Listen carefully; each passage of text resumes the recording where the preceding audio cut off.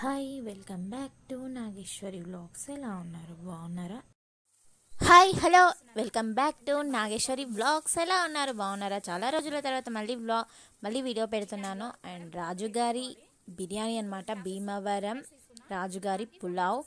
చాలా బాగుంటుంది చాలా టేస్టీగా ఉంటుంది. యాజ్ ఇట్ ఈజ్గా భీమవరం రాజుగారి బిర్యానీ టేస్టే వస్తుంది. ఇలా చేస్తే ట్రై చేసి చూడండి. ప్రాసెస్లోకి వెళ్దాం. ఇప్పుడైతే మనం కడాయి పెట్టేసుకున్నాం. వేడైపోతుంది. వేడయ్యాక మనం హీట్ అయిపోయింది కడాయి. ఇప్పుడు మనం నెయ్యి వేసుకోవాలి ఫస్ట్. నెయ్యి హీట్ అవ్వాలి.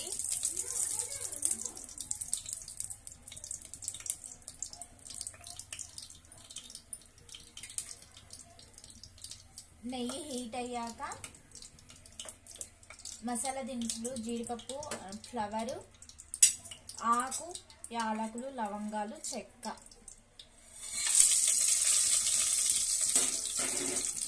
మూడింటిని కలిపి వేసుకొని ఇలా ఫ్రై చేసేసుకోవాలి. అలా ఫ్రై అయిపోయాక ఆనియన్స్.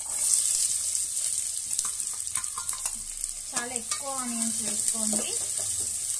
మనం పులావ్ అనేది ఆనియన్సే ఒక టేస్ట్ ఇస్తుంది. మంచి ఫ్లేవర్ ఇస్తుంది అనమాట ఆనియన్స్. ఆనియన్స్ దాదాపు వన్ కప్ వరకు అంటే దాదాపు పావు కేజీకి కొన్ని పావు కేజీ అనుకోండి ఇంకా. పావు కేజీ. అలా ఫ్రై చేసేసుకోవాలి. ఇది కూడా దోరగా వేయించేసుకోవాలి. మన red red colour golden brown colour వస్తాయి కదా అప్పటి వరకు వేయించుకోవాలి. ఇలా ఫ్రై అవుతున్నప్పుడే కొంచెం సాల్ట్ అండ్ మళ్ళీ మన ఆయిల్ అనమాట సన్ఫ్లవర్ ఆయిల్ వేసేసుకోవాలి. అది మీ ఇష్టం. ఆయిల్ ఉడకాలి కదా. ఆనియన్ ఫ్రై అవ్వాలి అలాగే చికెన్ కూడా ఫ్రై అవ్వాలి ఆయిల్లో కాబట్టి కొంచెం ఎక్కువ పడుతుంది. అలా ఫ్రై అవ్వనివ్వాలి కొంతసేపు రాజుగారి పొలావ్ అంటే ఆ మాత్రం టేస్ట్ ఉండాలి కదా. చాలా బాగుంటుంది.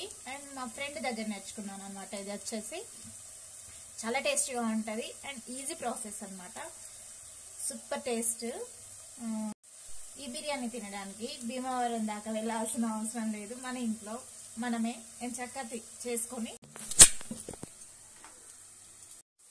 ఆనియన్స్ అయినవి ఫ్రై అయిపోయాయి కదా. ఇప్పుడు మనం అల్లం వెల్లుల్లి పేస్ట్ అండ్ పచ్చిమిర్చి పేస్ట్ అనమాట వన్ స్పూన్. చాలా కారం ఉంది. కొంచెం మీ స్పైసీకి తగ్గట్టు చూసుకొని వేసుకోవడం బెటర్ అనమాట చా కొంచెం అలా కలిపేసుకోవాలి. మిక్స్ అవ్వాలి కదా.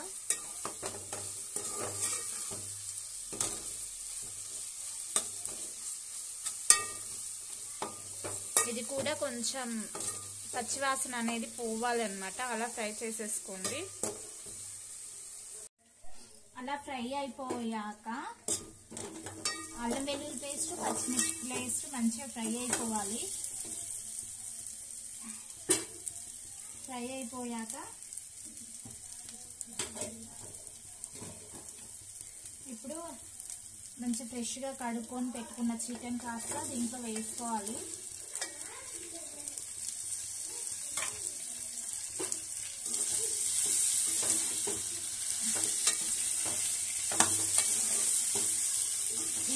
చికెన్ కూడా దీంట్లో ఫ్రై అవ్వాలన్నమాట.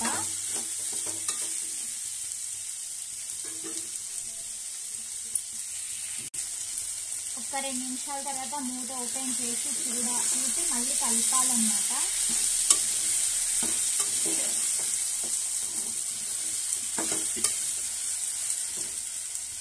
ఇప్పుడు కొంచెం ఫ్రై అయిపోయాక ఇప్పుడు కొంచెం పసుపు జీలకర్ర పొడి.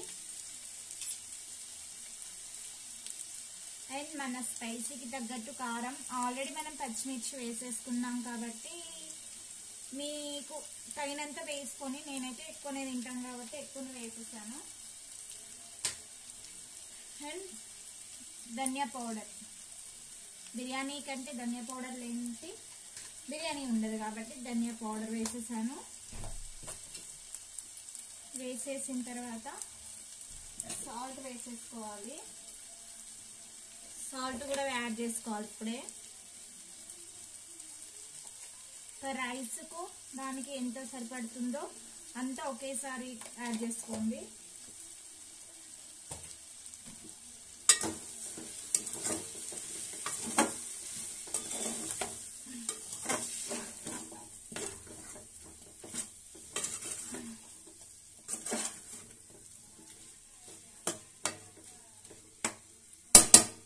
ఇలా కలిపి మళ్ళీ ఒక ఫైవ్ మినిట్స్ మూత పెట్టేసుకుందాం. ఇప్పుడు మన చికెన్ చూద్దాం ఎంతవరకు ఉడికిందో. మంచిగా ఉడికిపోయిందన్నమాట మనది. ఆయిల్లో మంచిగా ఫ్రై అయిపోయింది. ఇప్పుడు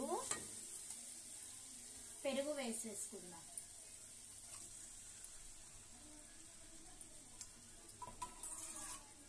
రాజు గారి బిర్యానీ అంటే ఆ మాత్రం ఉండాలి కదా. అండ్ కొత్తిమీర పుదీనా.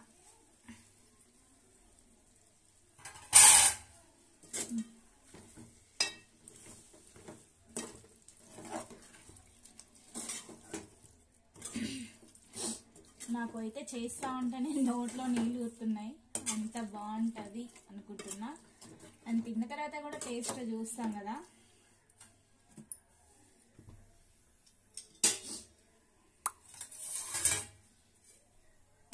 వేసుకొని మళ్ళీ ఒక టెన్ మినిట్స్ ఉడకనిద్దాం. మన చికెన్ చూస్తున్నారా? ఎంత బాగా కుక్ అవుతుందో. సూపర్ కదా? ఈ టైంలో మనం వాటర్ వేసేసుకోవాలి. నేను టూ గ్లాసెస్ రైస్ తీసుకున్నా. దానికి ఫోర్ గ్లాసెస్ వాటర్ అనమాట వాటర్ పోసేసిన తర్వాత ఇలా మంచిగా కలిపేసి బాయిల్ వాటర్ బాయిల్ అవ్వగానే వెయ్యకండి రైస్. పది నిమిషాలు హై ఫ్లేమ్ మీద. ఫైవ్ మినిట్స్లో ఫ్లేమ్ మీద. మంచిగా బాయిల్ అవ్వాలి రైస్ వాటర్ అనేది. అప్పుడే మన రైస్కి అనేది టేస్ట్ వస్తుంది. ఓకేనా? రైస్ వాటర్ బాయిల్ అయ్యేటప్పుడు మళ్ళీ కలుద్దాం. చూస్తున్నారా? మన వాటర్ అయితే చాలా బాగా బాయిల్ అయిపోతుంది. అండ్ ఫైవ్ మినిట్స్ అయిపోయింది. ఇప్పుడు వచ్చేసి హై నుంచి సిమ్ చేసేసుకున్నా మళ్ళీ సిమ్ నుంచి కొంచెం హై చేసేసుకున్నా తొందరగా మరిగిపోతుంది అనేసి చూడండి. ఇంకొంచెం మరగాలన్నమాట వాటర్ అనేవి. వాటర్ అయితే చక్కగా బాయిల్ అయిపోయాయి. ఇప్పుడు ఒకసారి కలిపేసుకొని మన రైస్ అనేవి దీంట్లో వేసేసుకోవాలి.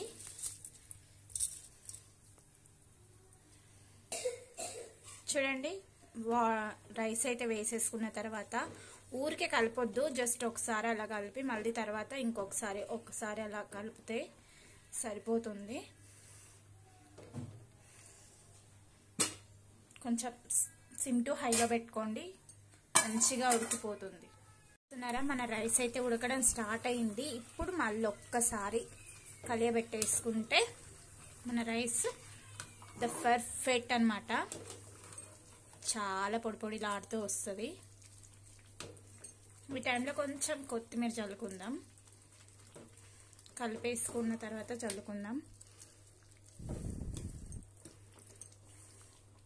చూడండి కలిపేసాను కలిపేసిన తర్వాత ఇదనమాట ఉడుకుతూ ఉంది కదా.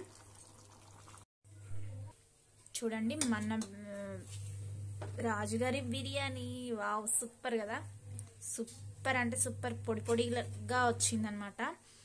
చాలా బాగా వచ్చింది. అయినట్టే అనమాట. ఇంకా వడ్డించుకోవడం ఒకటే లేట్. వడ్డించేసుకుందాం ఇంకా లేట్ చేయకుండా. మేమైతే ఇంకా బిర్యానీ అయితే వడ్డించేసానబ్బా. చూడండి ఇది. సూపర్ టేస్టీగా ఉంది. నేను కొంచెం టేస్టీ చూసిన. సూపర్ అంటే సూపర్ ఉంది. చాలా బాగుంది. అటు స్పైసీగా లేకుండా అంటే నేను పిల్లలు ఉన్నారు కాబట్టి కొంచెం స్పైసీనెస్ తగ్గించాను. పర్లేదు. కారం కొంచెం తినే వాళ్ళకి పర్లేదు అనిపిస్తుంది. బాగా తినే వాళ్ళకి సరిపోదన్నమాట. బా పర్లేదు అన్నట్టు ఉంటుంది. ఇది మా లంచ్ అయితే ఈరోజు ఫుల్ లంచ్. సూపర్ మేము వడ్డించేసుకున్నాం ముగ్గురం. ఓకే. తిన్నాక మళ్ళీ కలుద్దాం అబ్బా.